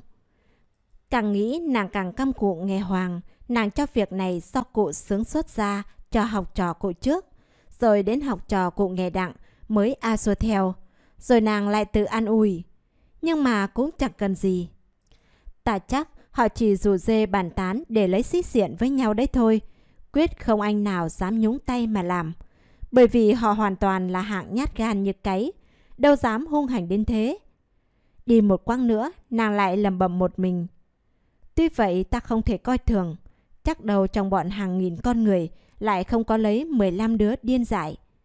Nếu mà những đứa điên dại ra mặt đứng đầu, có lẽ những kẻ hèn nhát cũng phải đua theo. Như vậy chẳng những mang tiếng mà ta còn bị tàn hại là khác. Thế thì bây giờ ta phải tìm cách ngăn ngừa để cho việc khỏi xảy ra mới được. Nhưng mà sự đã thế này còn có cách gì ngăn ngừa được không? Nàng cứ tự mình hỏi đi hỏi lại mãi một câu đó mà vẫn chưa tìm được câu trả lời. Lại đi quãng nữa, tình cờ qua cửa nhà ông Triều Bảy. Đột nhiên nàng như mừng rỡ và reo lên rằng Được rồi, chỉ có lão này còn có cảm tình với ta. Ta phải vào tìm lão ấy. Chắc rằng lão ấy sẽ giúp ta được việc khó khăn này. Rồi nàng lững thững tiến vào trong nhà. May sao lúc ấy ông Triều đi chơi vừa về. Trông thấy nàng, ông Triều bảy ngồi ở trong nhà chào ra. Cô Hồ Xuân Hương, mời cô vào chơi trong nhà. Nghe lời mời, nàng cung kính đi vào phòng khách. Giữa lễ, nàng toan ngồi vào tràng kỳ bên cạnh. Ông Châu Bảy không nghe, bảo ngồi lên chiếc ghế đối mặt với mình. Rồi ông Châu Bảy vừa cười vừa hỏi. Cô đến tìm lão, chắc vì những người học trò gan dở đang rủ nhau sinh sự với cô. Thưa, vâng, tôi mới nghe tin việc đó, không biết thật hư thế nào. Nếu họ làm thật thì rất nguy hiểm cho tôi. Trong đám phụ lão ngày nay, tôi nghĩ chỉ có cụ hãy còn lượng thứ cho tôi. Vậy tôi đến cầu cứu với cụ. Ai bảo cô cứ hay trêu người ta, bây giờ người ta trêu già, cô còn oán trách gì nữa? Xuân Hương sầm mặt và nói bằng giọng nghiêm nghị. Thật ra tôi có trêu ai đâu, nhưng tôi không chịu nổi những thứ đạo đức xa dối, những cái lễ sáo bó buộc. Tôi phải sống bằng tư tưởng tự nhiên của trời cho tôi. Có đồng chạm gì đến ai đâu. Vậy mà người ta không muốn khoan bước, đua nhau phao tôi tiếng này tiếng khác. Nín không được thì tôi phải kêu. Còn như việc đề thơ ở chùa Trấn Quốc, cố nhiên là tôi khinh họ. Nhưng mà những hạng rốt nát, tục tằn không có học thức gì cả. Thế mà họ cũng lên mặt cử nhân, tài tử, thì ai còn tha thứ được. Ông Triều vội vàng ngắt lời. Không, lão nói đùa đây thôi. Những thứ đạo đức xả dối, lễ giáo bó buộc, chính lão đây cũng không chịu nổi huống chi một người như cô. Cô khinh họ, cô chế họ, thật là phải lắm. Hôm nọ cái bài tự tình của cô, chính lão cho đọc để trêu tiết cụ nghề hoàng đấy chứ ai. Không ngờ vì đọc bài đấy, bây giờ lại xảy ra sự lôi thôi cho cô. Vậy thì cô có cách ngăn cản được việc ấy chưa? Thưa cụ, chưa. Vì thế tôi phải đến nói với cụ. Cô với quan tổng đốc Hà Nội có phải họ hàng gì không? Không có họ, nhưng ông ấy là bạn của cha tôi ngày xưa. Ông ấy biết cô. Thưa có, hôm nọ tôi ăn mặc xả chai vào trường. Chẳng may bại lộ, bị bắt, chính ông ấy gỡ cho tôi ra. Thế thì được, bây giờ cô cứ đến nói với ngài, nhờ ngài phái một đạo lính đến phường Khán Xuân canh giữ. Những người học trò thấy có lính tráng ở đấy, tự nhiên không dám sinh sự với cô. Xuân Hương lắc đầu. Thưa cụ, tôi những muốn như thế, cái người cứ ỉ lại vào thanh thế hoặc di trạch của cha ông, đó là người rất hèn. Phụng chi mỗi việc đều cậy đến uy quyền của các quan thì còn ra thế nào nữa? Nếu cụ không có cách gì khác giúp cho thì thà để cho họ đến phá nhà. Tôi cũng cam lòng, chứ vào nói với quan tổng đốc thì tôi không nói. Ông Triều Bảy ra ý khen ngợi. Không ngờ con lại kiêu ngạo tự phụ đến thế. Ngẫm nghĩ một lúc, ông Triều Bảy lại hỏi. Bài thơ của cậu Đặng Như Bích để chùa Trấn Quốc, cô có nhớ không? Xuân Hương cũng cười sảng sặc. Thưa cụ, nào nó có ra hồn thơ mà nhớ. Nhưng mày tôi vừa mới coi hôm qua, có lẽ cũng chưa quên. Để tôi nhớ xem. Hồi lâu nàng lại vừa cười vừa nói. Thưa cụ, bài thơ ấy vui, còn nhớ. Và cụ hỏi làm gì? Thế nào, cô thử đọc cho lão nghe. Nhưng nghe loài thơ ấy, trực cụ cũng không thể nhịn cười. Rồi nàng đọc như sằn từng tiếng. Khen ai đổ đất, đất dựng lên chùa. Một nếp lù lù ở giữa hồ. Mặt nước bóng chiều tà bàng làng. Làm sao vẫn chưa thấy chuông khua. Ông Triều Bảy cười như muốn ngất người đi. Một lúc lâu, ông ấy lắc đầu và nói. Chết chữa Thờ với thần, thế mà cũng dám viết vào tường cho thiên hạ xem. Con trai cụ nghề to gan thật. Người ta chửi cho cũng có, Chẳng những chế xỉu mà thôi. Cụ nghề không biết, khuyên con dạy con lại còn gỡ giọng để chết hẹn. Đáng ghét. Thôi, cô cứ yên tâm mà về. Lát nữa, lão sẽ có cách giải vây cho cô.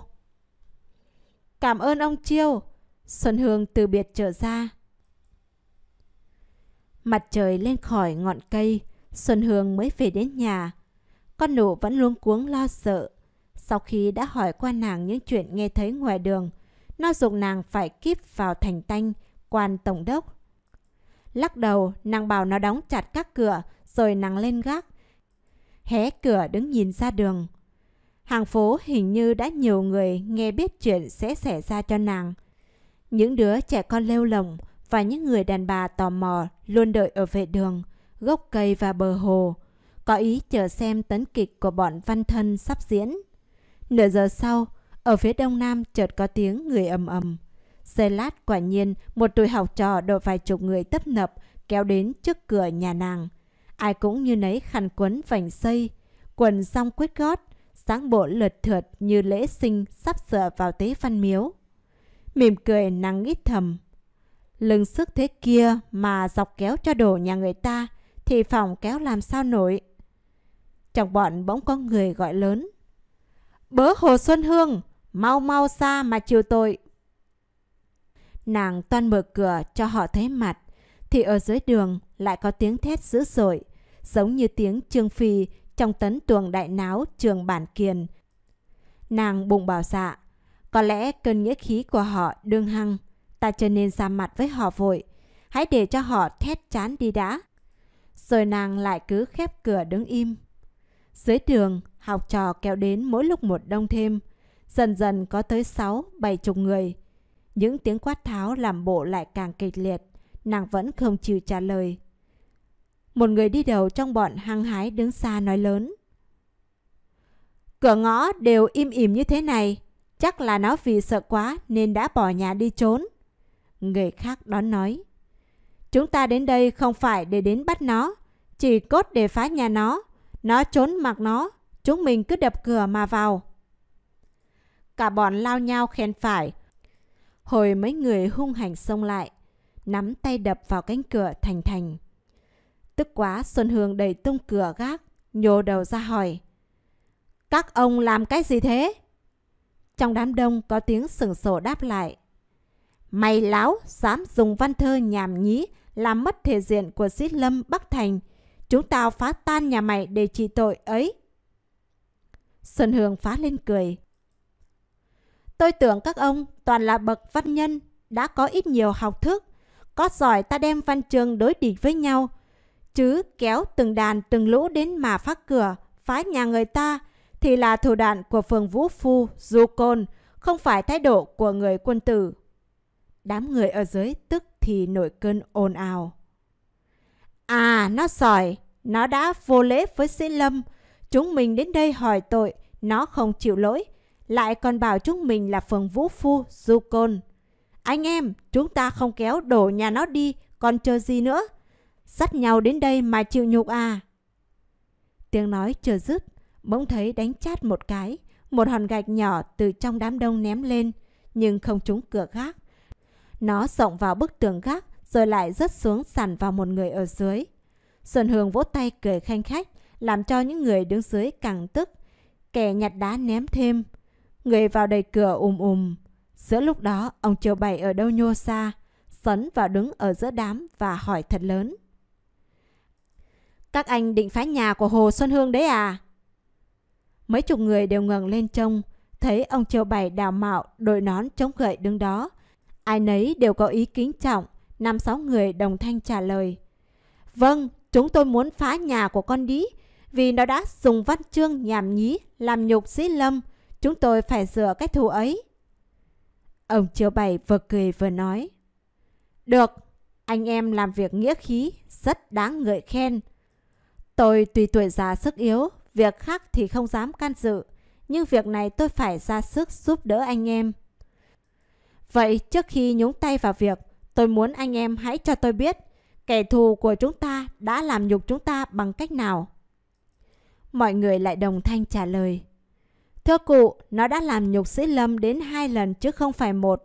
Lần trước nó gửi bài văn chất nhà đến trường cụ nghe Hoàng và nói sò cô ấy nhiều câu. Lần mới rồi, anh Đặng Như Bích đề thơ ở chùa Trấn Quốc. Nó dám đề một bài khác chế xíu anh ấy và bảo anh ấy là phường lòi tói. Như thế chẳng phá nhà nó đi, còn để làm gì? Ông Triều Bảy vẫn cười. Cố nhiên như thế, nếu Hồ Xuân Hương quả làm nhục sĩ lâm, lẽ nào chúng ta lại chịu nín im? Nhưng chúng ta là kẻ đọc sách biết chữ, đứng đầu tứ dân. Dù muốn trừng trị người nào, chúng ta cần phải cân nhắc cho kỹ, không nên để oan người ta. Hai việc mà anh em buộc tội cho Hồ Xuân Hương thì theo ý tôi, việc thứ nhất oan cho nàng. Mọi người đều tỏ vẻ tức giận, sắp sửa bẻ lại. Ông Triều Bảy liền nói lấp đi. Trong bọn anh em ở đây, có ai dự cuộc bình văn ở trường cụ nghề hoàng hôm nọ hay không? Trong đám đông có tiếng trả lời. Hôm ấy có tôi đến dự. Ông Châu Bảy vội quay ra nhìn. Người đó là Đàm Thận Trung, một người đã có tiếng tài hoa trong bọn sĩ tử. Ông Triều Bảy liền hỏi. À, bác Đàm đấy ư? Phải, hôm đó quyển bác phê yêu được đọc. Bác đã dự cuộc bình văn hôm đấy, thì bác có thể làm chứng cho Hồ Xuân Hương. Đàm Thần Trung chưa kịp nói sao, ông Triều Bảy lại tiếp. Hiện có bác Đàm làm chứng, cái việc đem đọc bài ca tự tình của Hồ Xuân Hương không phải ở nàng, chính là ở tôi. Người ta không ái nam, mà tự nhiên bị tiếng ái nam, thì người ta phải kêu oan chứ.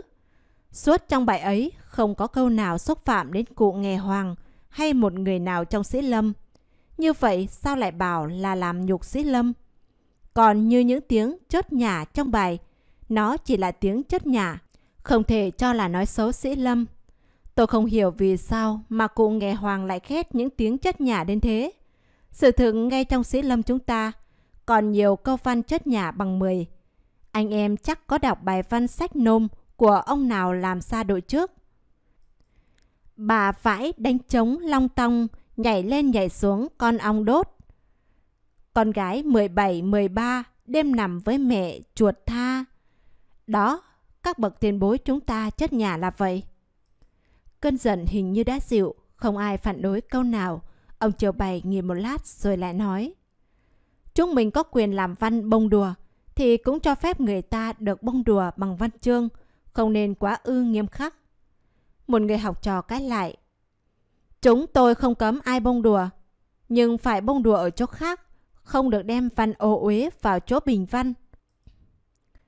Ông Triều Bày cười khanh khách. Cái đó là lỗi tại tôi, không phải tại Hồ Xuân Hương việc đó. Bác Đàm cũng biết rõ. Chính tôi dục ông Cống Thiều đem đọc bài ấy. Anh em có muốn báo thù cho cụ nghề hoàng thì xin cứ việc vào phá nhà tôi, đừng phá nhà Hồ Xuân Hương. Nhưng tôi, tôi trộm nghĩ bài văn ấy của Hồ Xuân Hương có nhiều câu hay và rất tức cười. Nếu không ai đọc cho nghe, tất nhiên cũng có nhiều người sẽ mượn mà chép lấy để rồi ngầm trộm đọc vụng với nhau. Có phải thế không? Trong đám đông nghe có tiếng cười khúc khích. Ông Triều Bảy vẫn sóng sạc. Ai cũng muốn xem, ai cũng muốn biết. Tôi bảo đọc lên, đó là chiều cái ý muốn của số đông người. Vậy thì anh em cũng không nên trách cái dòng chất nhà của Hồ Xuân Hương. Có người nói lớn ở phía ngoài. Vâng, chúng tôi theo lời cụ Chiêu xin miễn cho Hồ Xuân Hương cái tội thứ nhất. Nhưng còn cái tội thứ hai quyết không thể tha. Ông Triều Bảy nói đón. Phải, một người con gái dám bảo con trai cụ nghề là phường lòi tói. Thật là vô lễ. Chúng ta phải chỉ cho đáng tội. Để săn kẻ khác. Nhưng trước khi chỉ tội người ta, tôi muốn anh em hãy cho nghe qua bài thơ của cậu Đặng Như Bích cái đã. Hai ba người cùng nói một câu. Chúng tôi không biết bài ấy thế nào. Mấy ông học trò cụ nghề đặng ngông nghênh đứng xa nói lớn. Các ông không biết, đã có người biết. Bài ấy hiện có để ở chùa Trấn Quốc. Chưa biến mất đâu. Ông Triều Bảy vui vẻ nói. Chắc ông đã coi qua, xin đọc cho nghe. Một người trong mấy người đó xa sáng đắc ý, ngân giọng đọc bằng tiếng bình văn của thầy đồ xứ nghệ. Khen ai đổ đất, dựng lên chùa. Ông Châu Bày mỉm cười khôi hài. Người ấy hình như không để ý đến, vẫn đọc một cách tự nhiên. Một nếp lù lù ở giữa hồ, mặt nước bóng chiều tà bàng làng. Trong đám học trò đứng đó, nhiều người trông nhau lắc đầu. Ông đồ đệ cụ nghề đặng càng lên cao giọng. Làm sao vẫn chưa thấy chuông khua? Ông Triều Bày hỏi lại mọi người. Anh em nghe bài thơ ấy thế nào? Có thể gọi là thơ chăng? Đàm thận trung lên tiếng. Quê lắm, nhiều chữ còn trẻ con quá. Nãy giờ Xuân Hương đứng im trên gác, mặc ông Châu Bày giảng giải cho bọn học trò, không dám nói xen câu nào. Bây giờ nghe bài thơ của Đặng Như Bích, nàng không thể nhìn nổi, liền ngó cửa gác mà nói chó xa. Thờ thần như thế, tôi bảo là phường lòi tói, còn oan lắm sao? Các ông lại trực hùa nhau đến phá nhà tôi ư? Ông Triều Bày vội vàng ngắt lời. Cô là con gái, không nên quá dùng những giọng chua ngoa. Bác Đàm nói phải, bài thơ của cậu Bích vừa quê lại vừa trẻ con, không có câu nào nghe được. Như thế người ta chế giễu cũng đáng, chứ có oan đâu. Anh em nên thành tâm phục thiện. Cách sự mình sợ, sợ mình phải biết là sợ, thì sự học vấn mới có ngày tấn tới. Nếu cứ kéo bè kéo đảng, cố ý che lấp cái rốt cho nhau, ấy là làm hại cho nhau. Vậy anh em có yêu cầu Đặng Như Bích quý trọng thể diện sĩ lâm thì nên nghe tôi. Anh em đừng vì một bài thơ bông đùa mà chừng phá nhà cửa người ta.